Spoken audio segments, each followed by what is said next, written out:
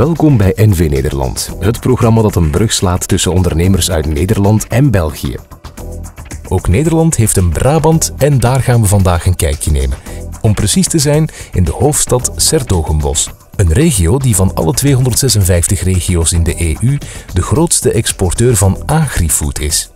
Uit het ondernemerschap in deze regio zijn veel internationale topspelers voortgekomen zoals Unilever, Nutreco en de Vion Food Group. Heineken heeft er een van zijn grootste brouwerijen. Maar belangrijker, in geen enkele regio is het agrifood cluster zo compleet en van zo'n hoge kwaliteit als in Sertogenbos.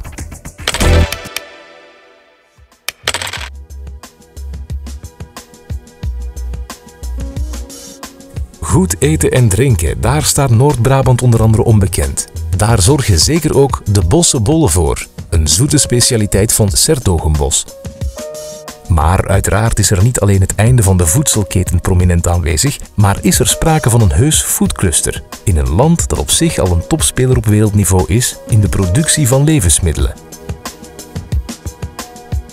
Dick Pauwels, de voorzitter van het college van bestuur van de Has Hogeschool in Sertogenbos, legt uit waarom dat zo is. Nederland is als het gaat over agrofood en, uh, en groene ruimte uh, een voorloper in de wereld. Het heeft alles te maken met het feit dat we een hoge concentratie bevolking op een kleine oppervlakte moeten bergen, moeten voeden en alles wat daarbij komt kijken. Eh, dat heeft ons in de loop van de jaren een enorme voorsprong opgeleverd als het gaat om, om agro- en foodproductie. Dat zie je niet alleen terug in de agroproductie zelf, die hoog efficiënt is, hoog technologisch, heel erg veilig en betrouwbaar voedsel oplevert. Maar ook doordat er een hele goede samenwerking in de keten is van fokkerij naar agrarische productie, naar voedselverwerking tot en met de supermarkten aan toe. De Has Hogeschool heeft opleidingen als bijvoorbeeld bedrijfskunde en agribusiness of food design en innovation en is daarmee een belangrijke partner in het hoogontwikkelde agri- en foodcluster. Den Bosch is, als je kijkt naar Nederland, is het wel uh, een van de belangrijkste plekken om te zijn als het gaat om agrofood. Uh, hier zit de hoogste concentratie van agro-. De hele keten is hier aanwezig. Basis van een brede definitie is zo'n 30% van alle werknemers in Noordoost-Brabant werkzaam in de food, de health en in de farmaceutische sector. Regio Sertogenbos ambieert binnen de vijf jaar een toppositie op wereldschaal onder de naam Agri-Food Capital Northeast Brabant. Men wil problemen als voedselschaarste en overbevolking aanpakken en de speciale voedingsproblemen van oude mensen in een vergrijzende samenleving. Innovatie is dan ook de spil waarvoor zowel kleine als grote bedrijven alles om draait. Die hebben misschien niet de pretentie om de wereld te redden, maar ze stellen alles in het werk om goede oplossingen te vinden voor de problemen van hun klanten. Innovatie is ook een van de centrale begrippen die minister van Economische Zaken in Nederland, Henk Kamp, benoemt in het volgende item. Hij gaat in op het belang van grensoverschrijdend samenwerken en de relatie tussen Nederland en België. De kansen liggen er vooral in de samenwerking die er in deze regio mogelijk is. En dat geldt eigenlijk voor heel Nederland. We hebben in Nederland een, een, een cultuur gecreëerd waarbij samenwerking tussen bedrijven, ondernemers, onderzoekers en overheden vanzelfsprekend is. De uitdagingen die we hebben in de wereld, die kun je het beste oplossen door uh, te innoveren, door succes te bereiken op het punt van uh, innovatie. Innovatie is iets wat, uh, wat niet in alle sectoren nog vanzelfsprekendheid is. Midden- en kleinbedrijven in Nederland blijft daar nog wat bij achter. En daar zien wij mogelijkheden om dat te verbeteren. En dat doen we vooral door die kleinere bedrijven met grotere bedrijven en de overheid te laten samenwerken. Wij zijn in Nederland dankbaar voor de goede samenwerking die we hebben met onze Belgische collega's. Wij zien verdere mogelijkheden om samen te werken en de producten die wij te bieden hebben vanuit België en Nederland, om daar de wereld ook van te kunnen laten profiteren. Dus wij steken graag onze hand uit naar onze Belgische collega's om samen in die grote wereld op te trekken.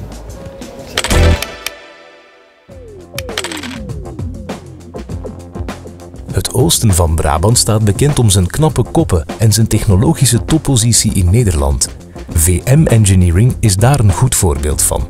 Een bedrijf dat zijn kennis en kunde inzet voor de agri-food sector. VM Engineering is een engineeringsbureau actief in de voedingsmiddelenindustrie. Dat doen we al ruim 15 jaar, waarbij wij ons specialiseren in procesinstallaties en verpakkingslijnen En daarbij ook het nodige projectmanagement leveren wat nodig is om een project succesvol te implementeren. En een laatste punt denk ik toch ook dat wij ons daar absoluut in onderscheiden is, is ook deels vanwege het, formaat van ons bedrijf met een 30 man dat wij ontzettend betrokken zijn Ehm, heel klantspecifiek oplossingen kunnen bepalen en ook voor iedere klant voor, zijn eigen specifieke situatie de juiste oplossing kunnen engineeren. Onze bedrijfsactiviteiten lopen vanaf het eerste idee wat een klant uh, vaak al, al heeft waar we hem bij helpen. Vervolgens maken wij het ontwerp en zorgen ook voor de complete implementatie en, uh, en opstart van, uh, van nieuwe installaties.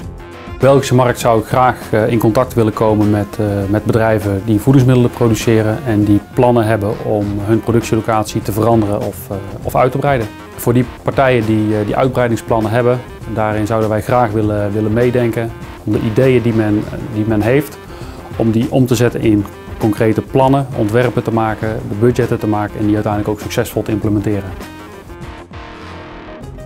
Globale oplossingen voor de toekomst, speciale oplossingen voor bedrijven uit de agrifood. In de regio Sertogenbos zijn ze allemaal te vinden en natuurlijk ook oplossingen voor de foodservice en de food retail zoals we dadelijk zien.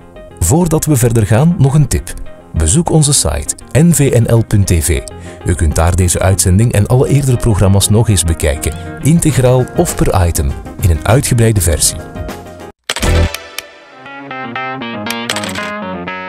De foodservice-markt in Nederland is de Sligro Foodgroep een zeer belangrijke partij, die bewijst dat familiebedrijf en beursnotering goed bij elkaar passen. Sligro verkent nu de Belgische markt. Sligro Foodgroep is een beursgenoteerd familiebedrijf dat al uh, bijna 80 jaar in Nederland actief is. En wij zijn vooral bekend als leverancier van de totale foodservice-markt in Nederland. Van restaurant tot ziekenhuis tot kiosk tot noem maar op. Ja, wij zouden graag willen dat België een tweede thuismarkt uh, voor ons wordt. Waar we erg waakzaam voor moeten zijn. We zijn het plan nu aan het maken. Uh, dus uh, kijk, België ligt natuurlijk dicht bij Nederland en heeft denk ik heel veel gelijkenissen met Brabant.